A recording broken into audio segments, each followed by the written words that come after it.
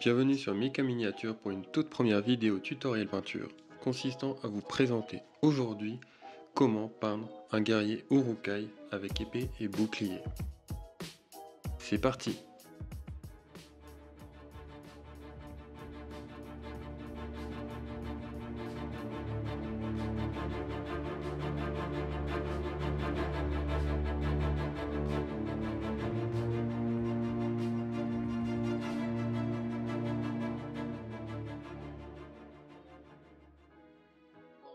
Bien, nous allons donc commencer par peindre la partie la plus en dessous de la figurine, c'est-à-dire la peau.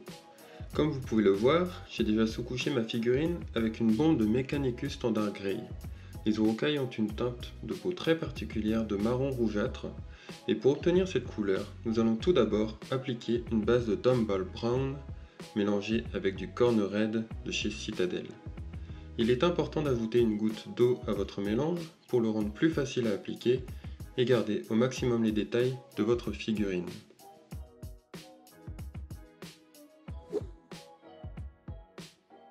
Une fois notre base bien sèche, c'est-à-dire après avoir entendu environ 15 minutes, appliquez dessus un lavis d'Agrax Earthshade mélangé à du Lamian Medium pour définir les ombres de la peau.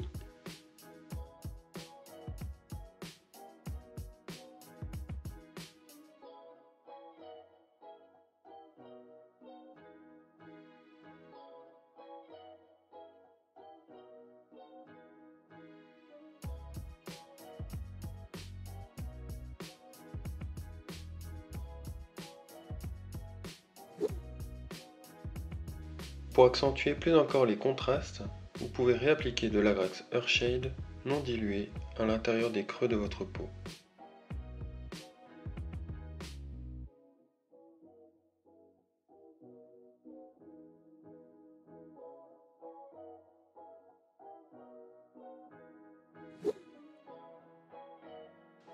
Maintenant que le lavis est bien sec, nous allons mettre la peau en évidence en réalisant les éclaircissements avec du Tusk Gore je vous recommande d'appliquer ces éclaircissements les plus finement possible et sur les parties de la peau les plus proéminentes.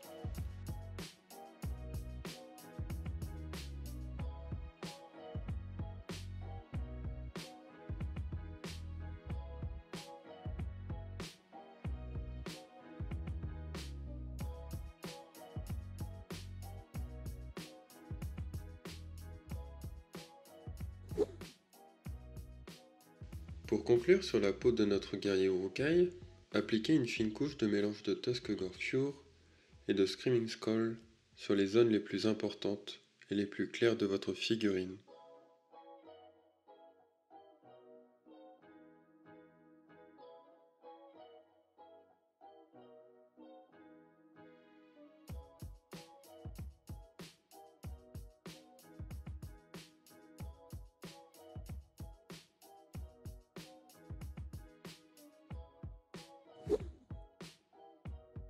Tiens, nous avons terminé la peau de notre guerrier Urukai.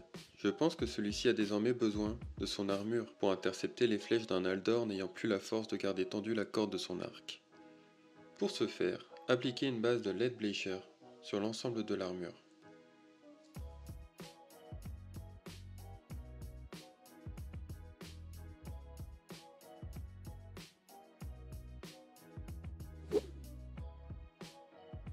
Afin d'optimiser notre temps de peinture, nous allons peindre aussi le cuir de notre guerrier. Pour le cuir, j'utilise ici du Dryad Bark de chez Citadel.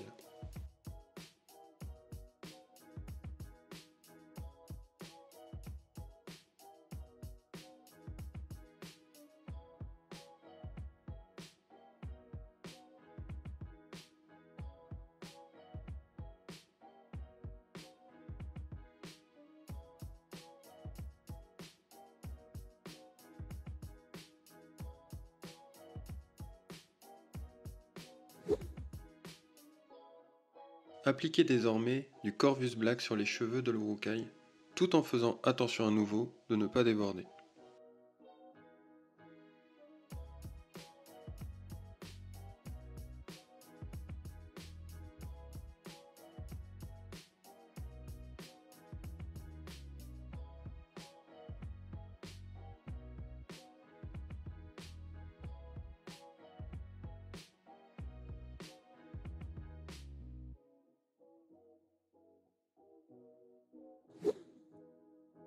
Pour se rapprocher des sombres armures des Urukai, nous avons désormais besoin d'appliquer deux couches de la vie de Nun Oil sur l'entièreté de l'armure de la figurine. Pour se prémunir d'un effet brillant sur notre lavis, il est important de bien secouer votre peau de shade avant de l'utiliser. Vous pouvez également déposer une couche de Nun Oil sur le cuir et les cheveux de votre guerrier. Maintenant que notre armure est suffisamment sombre, nous pouvons l'éclaircir en appliquant du Storm Host Silver sur les arêtes que l'on souhaite éclaircir.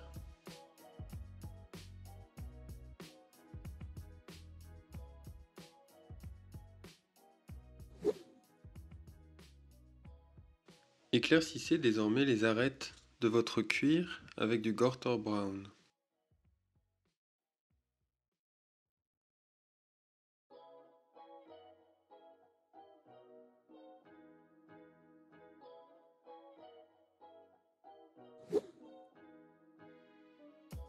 Passez désormais une fine couche Teshin Grey sur l'ensemble de vos cheveux pour les faire ressortir.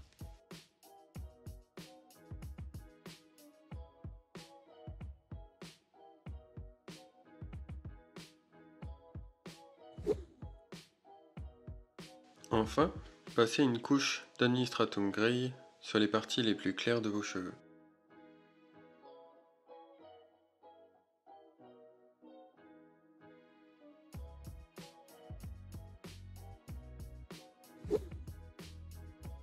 Pour faire ressortir un peu plus les détails de votre Urukai, nous allons éclaircir les dents à l'aide de Corax White avec un pinceau très fin.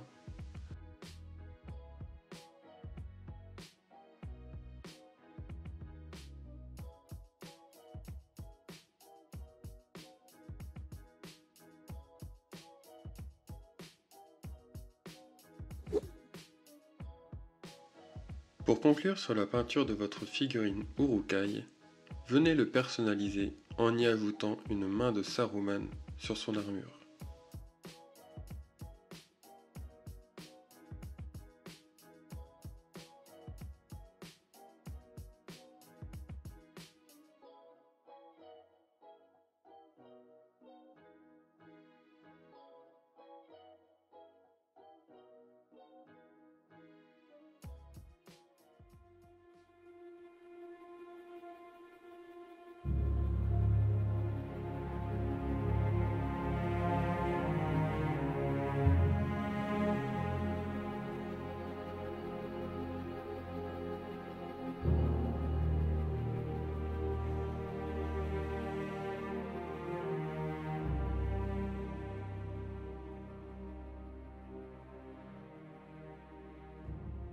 Félicitations, votre Urukai est fin prêt pour venir assiéger le gouffre de Helm.